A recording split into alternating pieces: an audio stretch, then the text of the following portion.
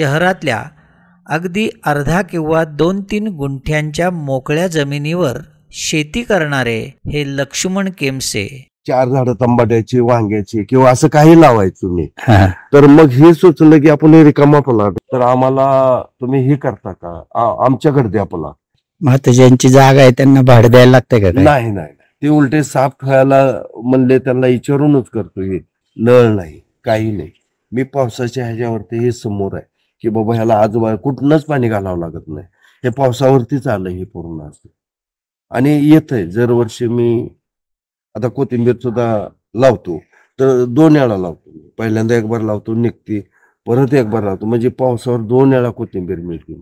आता मी बघा एकटा सुद्धा एवढं करू शकतो.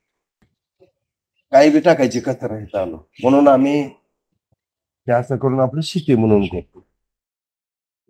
कोथिंबीर कधी काही तुरी लावतो? तरी आपल्याला घरी वापरून नाही म्हणलं तरी सातशे सहाशे सातशे रुपये मिळतात. टिकावानं रेषा मारल्यावरती रान आखलं की बाबा ते आपल्याला अंतर किती ठेवायचं? तीन फूट ठेवायचं. तीन फूट ठेवला. आणि मग त्याच्यात दीड फुटावरती प्रत्येक झाड लावलं आपण. असं. मग ह्याला एक मी कोळप बनवलंय. त्याचं आहे असं हे गवत म्हणजे मधून चालायचं. हे गवताचं काम करतं. म्हणजे ह्याला मधलंच गवत काढायचं. ह्याच्या काय असेल ते. हे पाच गुंठ्याचं म्हणजे पाच गुंठ्यात एक हजार झाडं बसतात. एक हजार. तर साधारणपणे ह्याला एक दीड आपण लावल्यापासून एक दीड महिन्यातनं उत्पन्न येते. चालू होतं. ह्याच्यावरती थोडे आजार येतात पण त्याला काय लिंबाचा पाला गाईचं गोमतात किंवा असं काय हे करून भिजू घालून फवारण्या केल्या तर खर्च कमी आहे. दुकानातलं औषध जे आणून लावण्यापेक्षा तर आपण हे औषध मारू शकतो. तर. काही जास्त काम नाही करावं लागत ह्यात. गेल्या वर्षी माझ्याकडे तुरीची झाडं होती हो त्याला मला पाच किलो तुरी मिळाली. आजूबाजूलाच लावलेली होती फक्त शेंगा काढून बनवल्या. आणि वाळल्यानंतर पाच किलो पुन्हा एक हरभरा लावला होता थोडा. पंधरा रुपये वीस रुपये गड्डी प्रमाणे माझ्याकडे एक शंभर गड्डी निघली. या. झेंडूच्या मधल्या भागात. अरे वा. मग ते शंभर गड्डी मी माझ्याकडं वांग्याचे सहाच झाड आहेत. मी एक वर्ष झालं वांगे विकत आलो. हो का? पपईची झाडं अशीच बी पडलेली होते.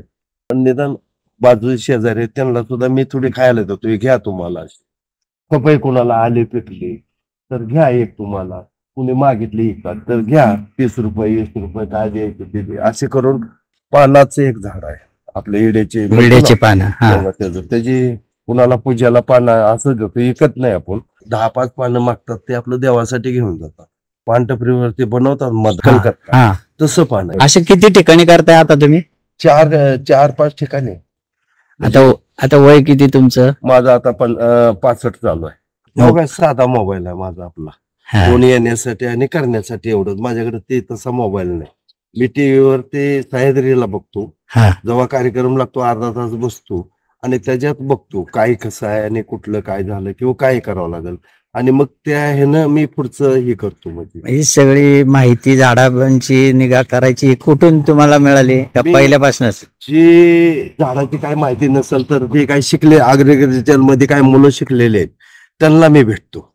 दुकानदाराकडे एखादं झाड घेऊन जातो त्यांना माहिती विचारतो या झाडाला काय करू? किंवा का झालं असतं किंवा काय होतं?